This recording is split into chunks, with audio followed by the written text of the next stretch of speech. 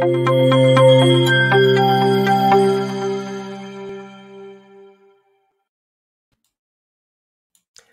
my name is Adolfo Neto, and I'm here to talk about TDD with Livebook. So in this video, I'm not going to talk about, I'm not going to explain what TDD is or what Livebook is. I'm just going to show you how to do TDD with Livebook. I learned that by reading this blog post on the Elixir Newbie blog, which is by Brooklyn Myers, and who point me, pointed me to this blog post was David Bernheisel. So let's do it. I'm going, I have uh, my Livebook here. I'm going to create a new notebook. And let's let's suppose we are going to do something like a calculator a very simple example. Here in this first section i'm going to leave the code. And in the second uh, session i'm going to leave the tests. So suppose i have a module no let's create a module called calculator test. And I have to go here to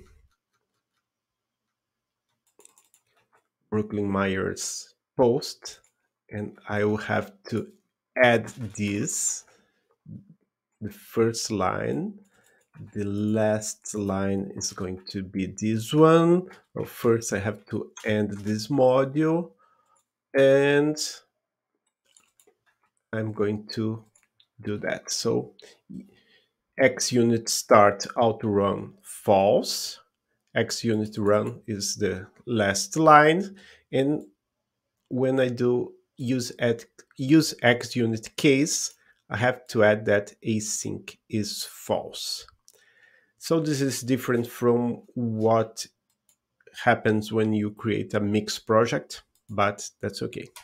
So let me create uh, describe here um, addition testing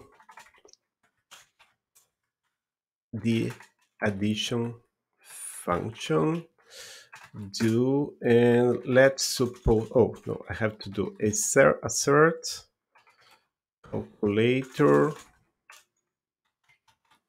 add 2 and 3 2 plus 3 equals to 5 that's how you do TDD. You first write the test. When you are writing the test, you are kind of designing your module and then you run the tests. You have to run the tests.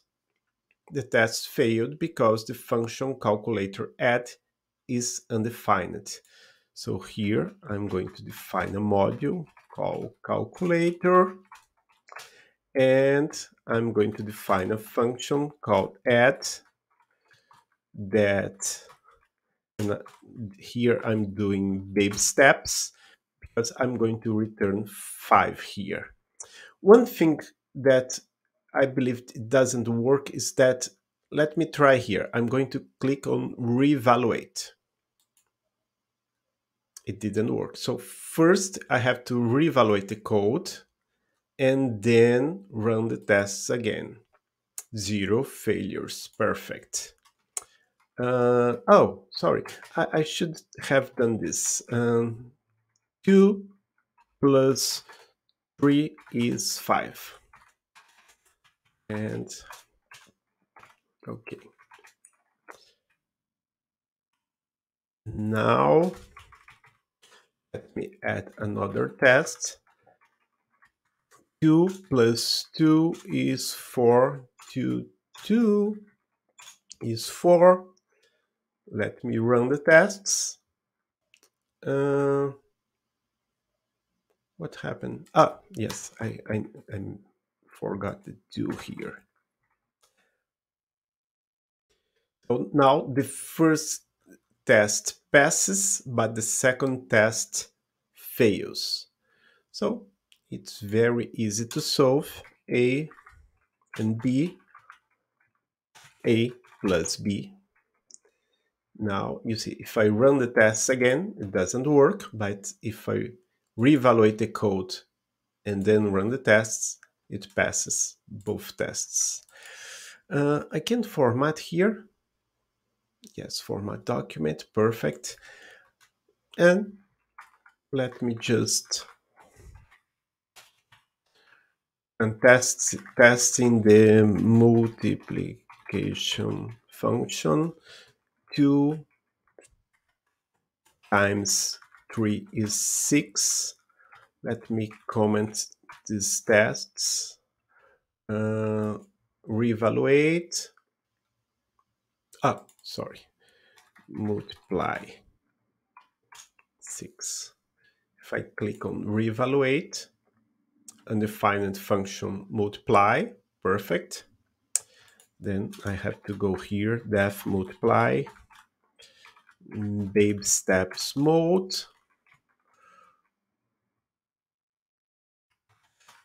I will return six, reevaluate, evaluate here, three tests passed, and now two times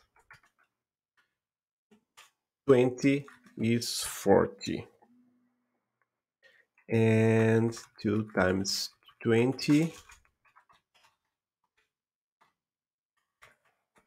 is 40 I run the tests it's failing perfect because all I have to do here is multiply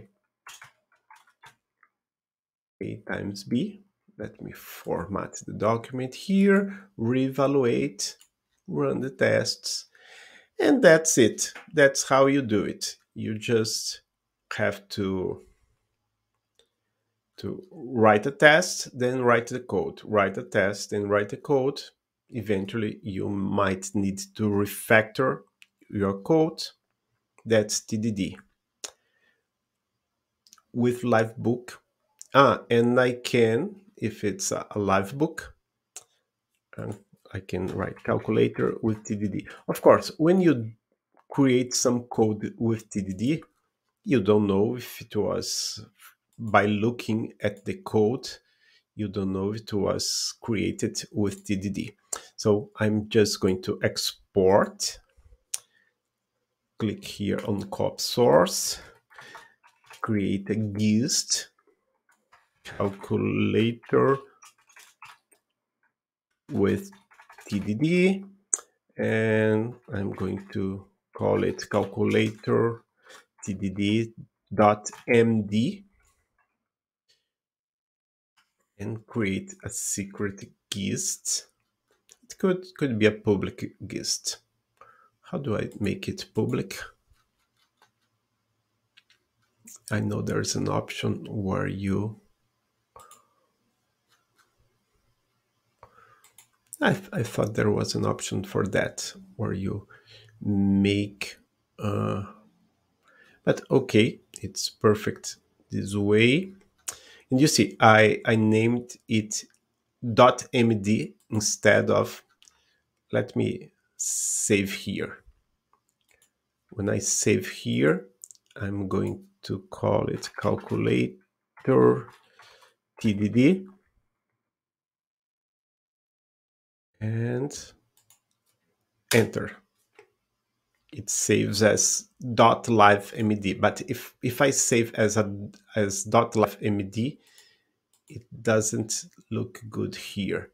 And here with this link, if you go to livebook.dev, if you go to livebook.dev, you can click here, run livebook locally or in the cloud, launch on fly.io, which I, I let me close this window.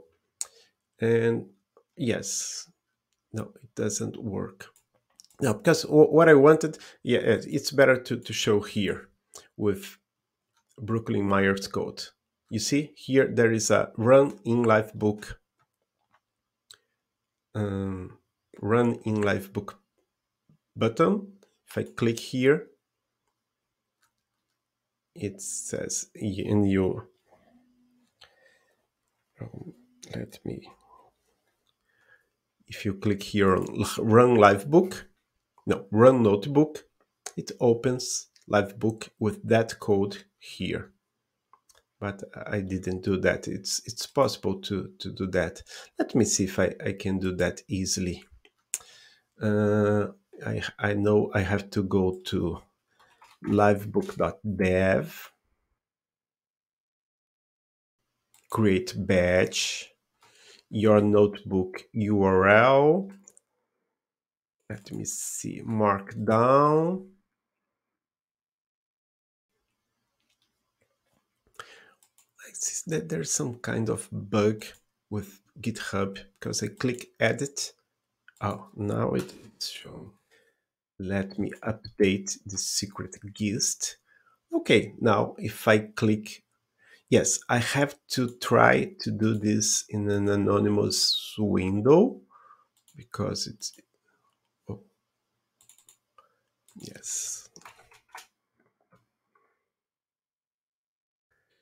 So see, I'm here, calculator with TDD. I click run in Livebook and it asks, do you already have Livebook running? I do. Adolfo antidote antitude live no, fly.dev running notebook. It asks me for my password. where is my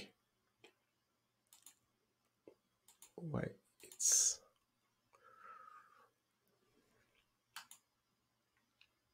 ah now it worked. And here is my see if I click here it won't work. Oh, no it worked.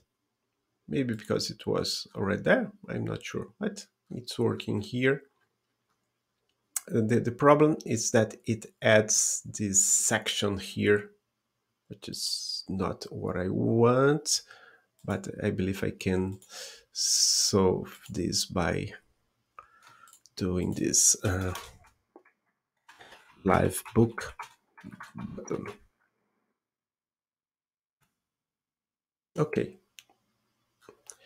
That's it. I'm going to leave this link in the description and also let me add here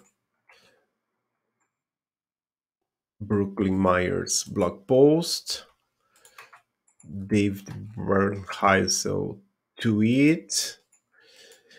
This is uh, something I have done before, which is, um, let me give a name to this.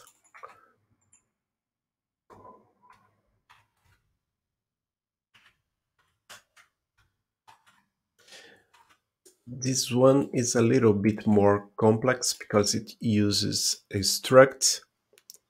It creates a struct, but it's the, the same thing basically. And there is some kind of instructions here. And there is some other. This one is too simple. I'm just going to, going to leave the link here. Okay. So that's it for TDD with Livebook. If you want to learn more, maybe in a future video, I'm going to explore more how to, to do TDD with Livebook. I'm not sure it's a good idea because maybe for TDD, you should create a mix project. I see Brooklyn is using the TDD with Livebook because what he expects is that a student is going to create the code and he's going to have the tests for that code, which is basically what Exercism does. But for me, it's very important that the student also writes his tests, his or her tests. So their tests so it's important for me to to develop the ability to create your own tests Thank you very much. See you next video. Bye.